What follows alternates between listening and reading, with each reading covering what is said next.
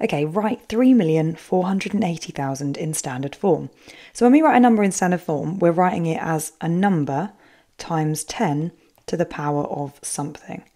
And this number here needs to be between 1 and 10, but it can't equal 10, anything up to 10.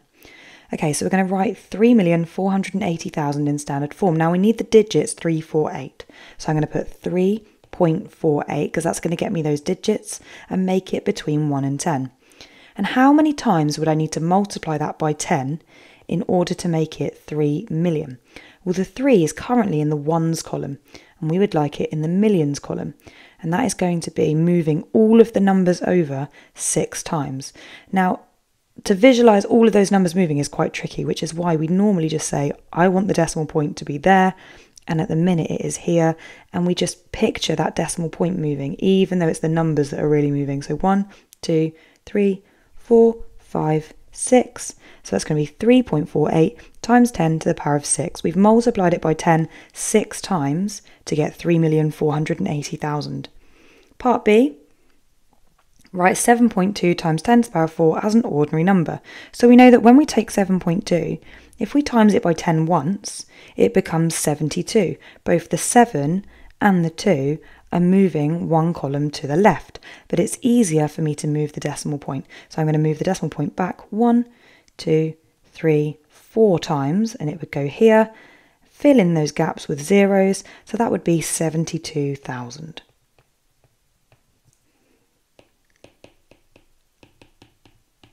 Perfect. Question two, write 45,000 in standard form. So we need the digits 4.5. Remember, it has to be between 1 and 10. And we're going to times that by 10 to the power of something.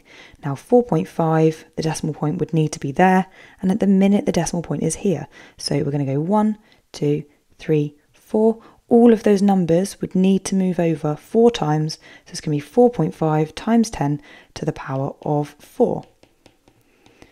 6.85 times 10 to the power of minus 3. Now, when we times to the power of minus 3, what we're actually doing is timesing by 1 over 10 to the power of 3. And that's going to actually have the effect of dividing by 10, dividing by 10, dividing by 10 three times. So let's take 6.85. When we divide by 10, all of those numbers are going to move one column over to the right, and then again, and then again. But again, we've said it's easier for us to think about moving the decimal point just because it's easier than it is to move all those numbers. So one, two, three. The decimal point is going to go there. And then we need that to be 0.00685. So 0.00685 would be our answer. Now, with the negatives, the number of zeros is going to be the same as the power, but that doesn't always happen when you're going um, when your power is positive. So something to look out for. Okay, question number three. Right now, what I've got here? Six million.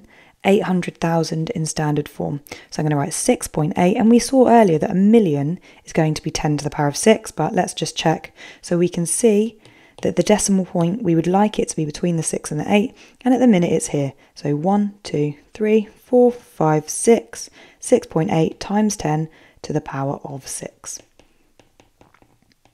Part B, work out 7 times 10 to the power of 4 times 3 times 10 to the power of 6. Now we could write each of these as an actual number. So we could say this is 7,000. No, 70,000. And we could say this is 3 million. And then we could times them together and put it back in standard form.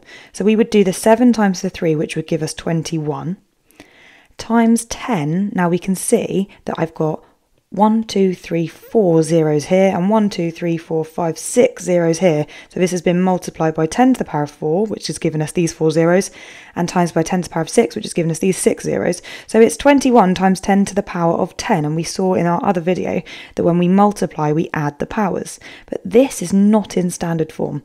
What do we need to do to get this in standard form?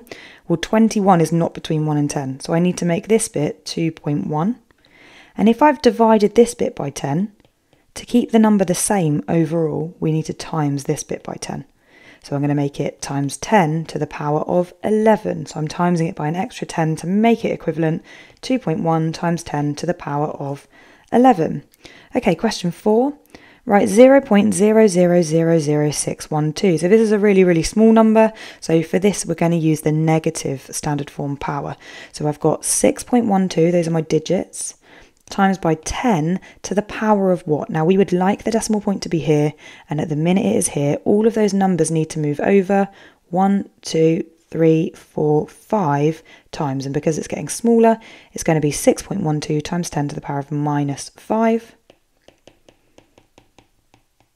And then for part B, work out, now we can see that we've got to do 8 times 3, which is 24, times 10 to the power of 7, because I'm doing 10 squared times by 10 to the power of 5, and we know that we can add the powers when we're multiplying, as long as the base numbers are the same. Now that is not in standard form, so I need to change it to be 2.4, because that's between 1 and 10. If I've made this bit 10 times smaller, I've got to make this bit 10 times bigger to keep the number the same overall, and that becomes 2.4 times 10 to the power of 8. Question number 5, write 0.004 in standard form. Now we've just got 4 as our digit, and we're going to times that by 10 to the power of something. Now 4 would be here in this column, so hopefully you can see that that's moved over 3 times, and we've got 3 zeros, which always happens with a negative. So that's going to be 4 times 10 to the power of minus 3. For the next one, I'm dividing now. So I need to do 5 divided by 2, which is 2.5. And then I need to do 10 to the power of 8 divided by 10 to the power of 6. And we know that when we divide, we take away the powers. So 8 take away 6 is 2.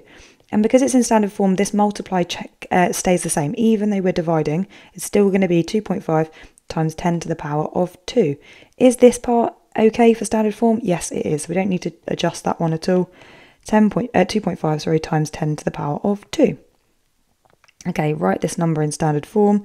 1, 2, 3, 4, 5, 6. So that's going to be 3.8 times 10 to the power of 6. We've got 3.8 million again. So 3.8 times 10 to the power of 6 as your answer for that one. Part B, work out 1 times 10 to the power of 2 divided by 5 times 10 to the power of 9. And we're going to do 1 divided by 5. Now we know that 1 divided by 5 is a fifth, which is 0.2. So I'm going to write 0.2 times 10 to the power of minus 7 because I'm doing 2 take away 9. And we know that when we divide, we take away the powers. Now that's not in standard form because this part isn't between 1 and 10. So I need to take that and make it 2. For this part, we've multiplied by 10, so to keep the number the same overall, I need to divide this by 10, which means taking 1 away from the power. So I'm going to make it 10 to the power of minus 8, because remember, minus 8 is 1 less than minus 7, because we're in the negatives. Quite tricky, that one. Okay, question number seven. Put the following numbers in order of size. Start with the smallest number.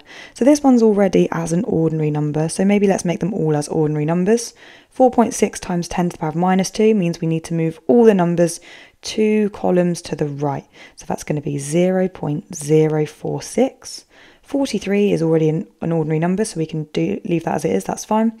And 41 times 10 to the power of 3, which is not in standard form at the minute because we've got 41, not 4.1 but we can times that by 10 to the power of 3 by timesing it by 10 three times. So 41 times by 10 would be 410, times by 10 again would be 4,100, and times by 10 again would be 41,000. So we're starting with the smallest number, and we can see that this number here is the smallest, so 0.00045. Then I'm going to have this number, and I'm going to write it in the original format, just because it would be easier for the examiner to see that I've got it right.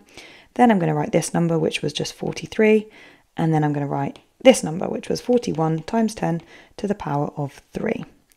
Question number 8, write 46.8 times 10 to the power of minus 2 in standard form. So it's not currently, currently in standard form because this part is not between 1 and 10. So I need to make that 4.68 to make it in standard form. I've made that 10 times smaller. So because I've divided that bit by 10, I need to times this part by 10. And that means adding 1 to the power.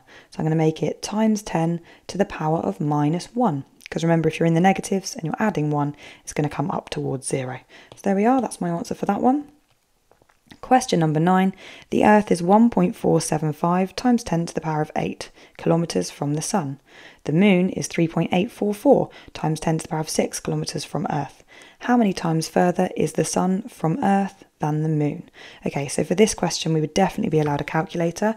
And to find out how many times further away something is, we're going to do 1.475 times 10 to the power of 8 divided by 3.844 times 10 to the power of 6. We're going to do the big one divided by the small one to find out how many times further away it is. I'm going to use the fraction button in my calculator for this, and I'm going to type 1.475 uh, times 10 to the power of 8 on the numerator, so on the top of the fraction. And then on the denominator, I'm typing 3.844 times 10 to the power of 6. Hitting equals, that gives us 38 0.3714 and I'm going to make that 3.8 times 10 to the power of 1.